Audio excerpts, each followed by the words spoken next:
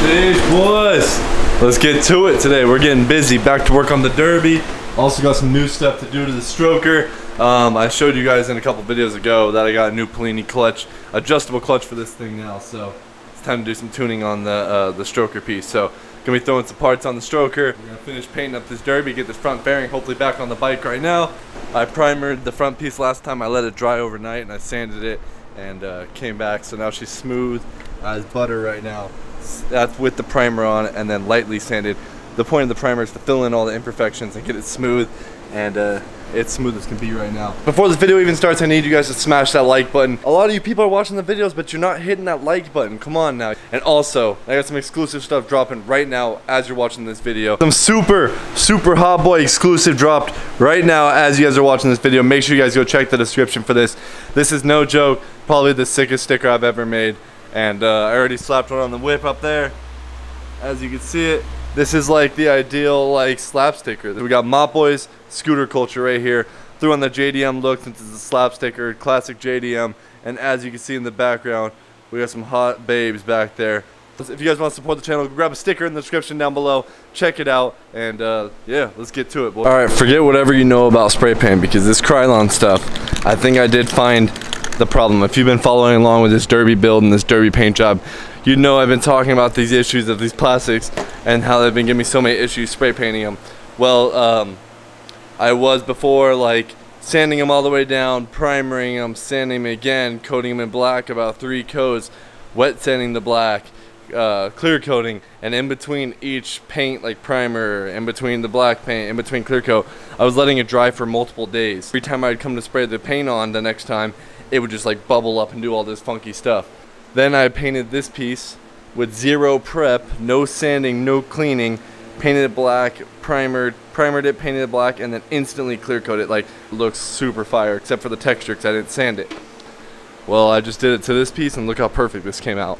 Obviously, this paint's backwards from any other paint I've ever used. I painted it black, and then instantly came back with the clear coat to hit it with a wet coat. And look at that, bro.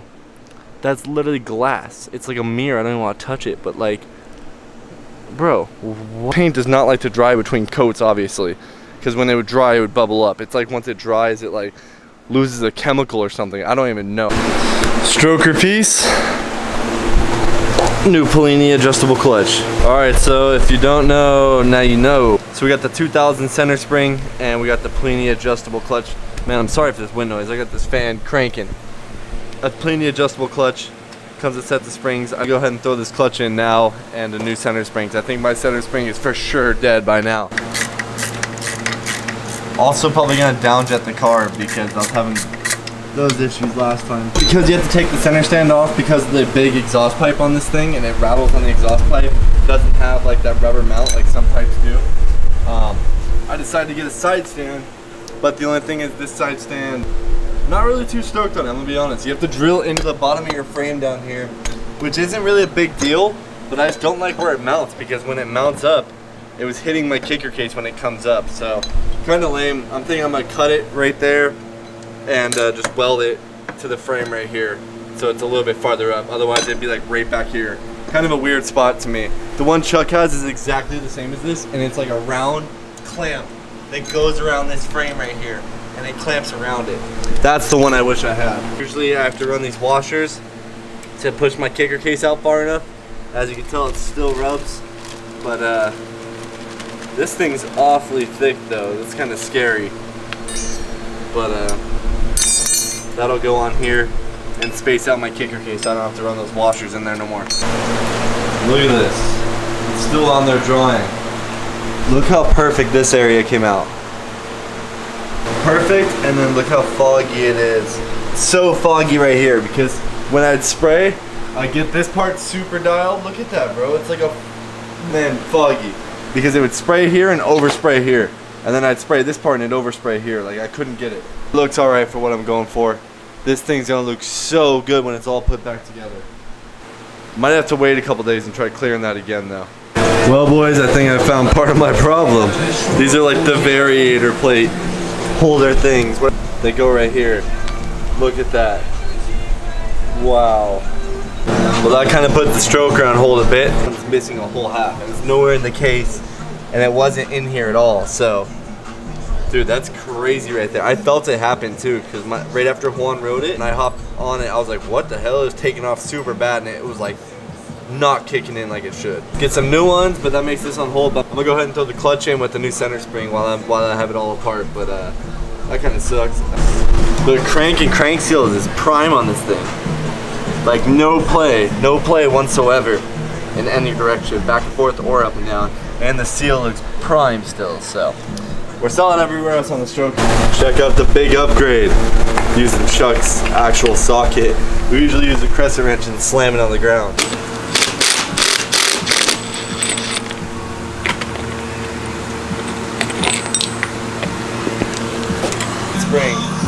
But look at how taller this one is. New clutch spring, new clutch. You can actually adjust the clutch from right here with these Allens, so that's how you adjust it, but uh, she's in there. Just setting it pretty much in here just so I don't have to worry about putting anything away. All right, time to put the derbi all together. Doesn't look too bad. I gotta actually polish it a little bit right here. See where the fog is? That's where the clear coat got a little oversprayed in some spots. But I feel like if I take a like microfiber to it and some polish, it'll come out good. But came out really solid. So stoked on that.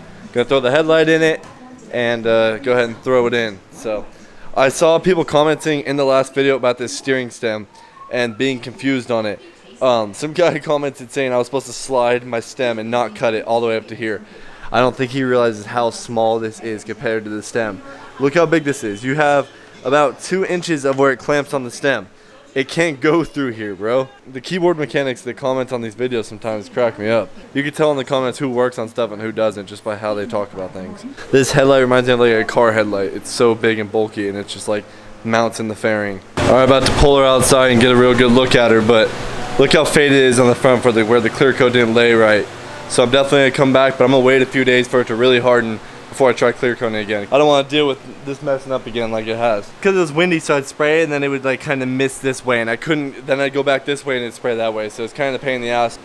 All the other pieces that didn't paint in the wind were pretty good. Like that's, for spray paint, if I'm seeing a reflection, I'm gonna say that's pretty damn good. But all around, this thing has changed a bunch. I have a tail light figured out. I have a homie in Germany who's actually hooking me up right now. I found a spot that could sell them, but I can only order it to Germany, and he's able to, he's gonna send it to me from there. So super shout out to him. Hopefully in the next few videos, we'll get that on there and actually get a tail light on this situation. Also got that new pipe we're gonna be putting on boys and a few other things coming in right now for this thing. So um, I found out that my throttle situation was that 90 little piece and I ordered that and uh, yeah. I'm gonna go ahead and pull this thing out. I got a good picture of it right now with the sunset. Realize it has a leak in the exhaust too right here. It's a little crack in the weld and it's uh, blowing out right there. So new pipes that I go on ASAP, that's for sure. Gonna find a new manifold for this since I think this is a restricted one. Looks like it. Man, this bike's looking so good right now. So stoked on this thing. Got a lot. Next time we'll throw on the variator and the new pipe and try messing with tuning it more because it runs really bad right now still, but she'll start, but like when you're high top end, runs really bad. This bike you can literally kick with your hand. I don't even know if these switches work. Oh, they do. The kill switch doesn't work. It's not plugged in right now, but even if it is, it still doesn't work.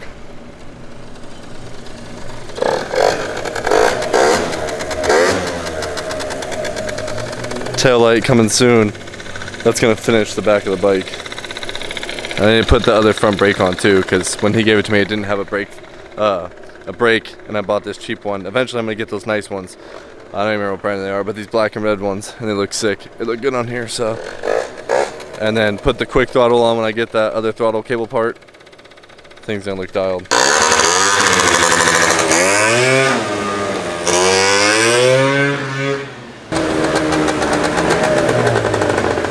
Boys, well I think that's going to do it for the Derbi today and also the stroker because I need to wait on those parts to show up. But I should have the stroker fixed this weekend. Probably going to tune this thing and do a video on this thing with the Complini clutch and uh, some more riding on that. And uh, maybe Chuck will bring his stroker too. We'll get some real stroker action. And then it's time to get to work on the Zuma. I didn't even get it running that good right now because I didn't want to mess with it. I'm going to be throwing the pipe on tomorrow, so I don't want to tune it and then throw the new pipe on and have to retune the whole thing again. So I'm just going to wait till tomorrow throw the pipe on, get this thing tuned, and then mess with that variator and see some speed in it. But uh, I'm gonna throw a keychain in three people's orders. Three random people are just gonna get a keychain thrown in if you order this weekend. I'm on the hunt for this battery cover right here. So if you live in a country that has these uh, Derbis very often, let me know if you can get me a battery cover, please.